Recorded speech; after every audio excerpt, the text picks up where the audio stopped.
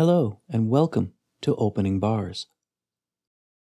Dawn is the first audio track to the 2005 movie version of Pride and Prejudice.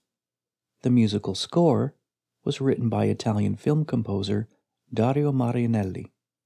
This is an absolutely bewitching and breathtaking piece. For all of its transparency and very simple notes, its exposure and vulnerability makes for an exceedingly beautiful piece that will challenge your musical sensibility. Let's look at this reduction first. The opening bars begin with a simple E4, repeated nine times, with no accompaniment or no chord.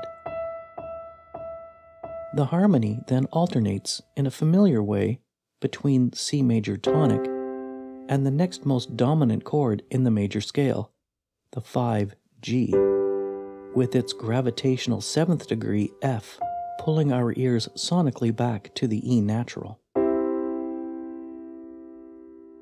The harmonies here are as crystal clear as they could possibly be. The final chord of these measures loosens this stranglehold on the tonal center by presenting the tonic in first inversion, which will set up a transition to explore A minor 6, F major 4, and a 5 of 5 D major, leading to the G major, which takes us back to the tonic. This all feels very classical in nature to our ears. The harmony, the texture, and the melody, a compositional technique, which I suppose is the deliberate intention here. So there are no sharps or flats, and we'll use the treble G clef and the bass F clef in a score notated in 6 8 time. The most striking thing about this opening track are those repeated E naturals. Notice too that although the time signature is listed as 6 8, there are only three eighth notes in the first bar. This bar is incomplete and considered a pickup to measure 2, which is where the first complete rhythmic impulse of the piece occurs. Two of these three notes, and the rest below, also have what is called in Italian a fermata notated above them. This symbol indicates to the musician that they may prolong the duration of this note at their discretion. The next measure, then, is more specific, indicating that six eighth notes are to be repeated, but that the overall pace or tempo will accelerate somewhat, notated with the abbreviated accel from the Italian word accelerando. Rhythmically speaking, these two opening measures are fascinating, and you could spend a lot of personal study time experimenting exactly where these notes can occur in time and space, what weights they might bear, how long they sound for, and how they fit in relation to each other. Play these two bars, and perhaps include the resolution on beat 1 of measure 3 and experiment with playing them in as many different ways as possible, listening very intently while you play on where and how they sound. The most interesting question to yourself may not be, which version did you like the best? But the better question, why did you like that one the best? That's when you begin thinking critically about creativity. But the fun does not end there we have a fantastic polyrhythm to deal with. A polyrhythm is where two different rhythms occur at the same time. The 6 8 time signature is great for that because it can be divided in so many interesting ways. You can see it clearly here, where the left hand continues playing successive eighth notes in groups of three with an overarching pulse of two beats per measure. But that the right hand separates those two major pulses into duple eighths. Let's break them down now. Starting with the left hand, we'll play the pattern using a click track in 2, highlighting each group of three. Be sure to use the fingering I've provided, as you will not be successful without considering this. I'm not suggesting this is the only way to maneuver around these patterns.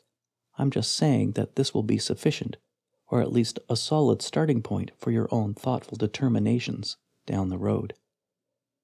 Anyway, let's play this now, at tempo.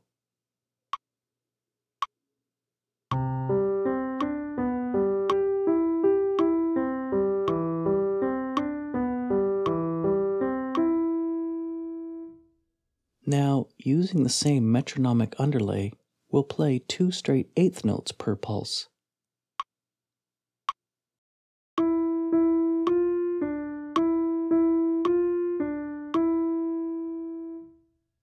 So let's alternate those, one measure of six eighth notes and then a measure of four eighths, with our metronome.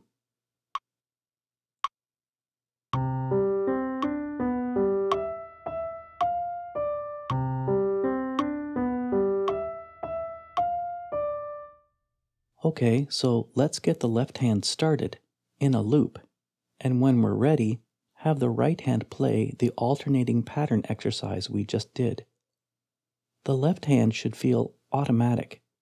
It would be best to not really think about it too much and concentrate subdividing the main pulse.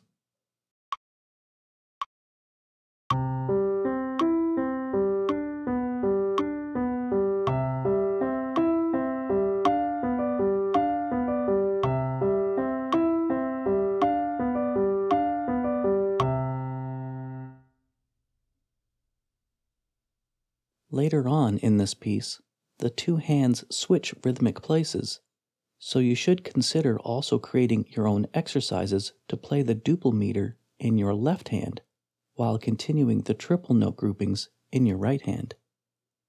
Here is an example. I would take a moment before you begin to figure out the fingering for the right hand. Don't just launch yourself in. Think about where the hand might be best placed and at which point it might serve the phrasing to have them move.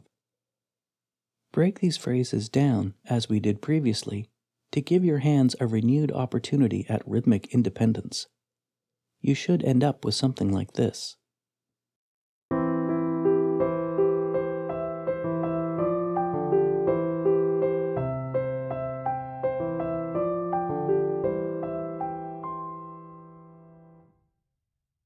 Now that you know all of the notes for these opening bars, let me offer a word of caution about rubato. This is a technique roughly translated from the Italian meaning robbed or stolen, a practice where the performer takes time and space away from one part of the music and gives it back to another, essentially and most commonly altering the tempo slightly by speeding up and or slowing down.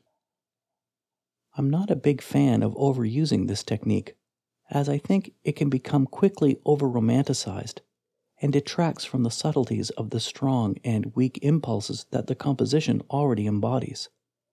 That's not to say that it shouldn't be used here. I'm just saying, don't lose your composure and get all blubbery in your playing.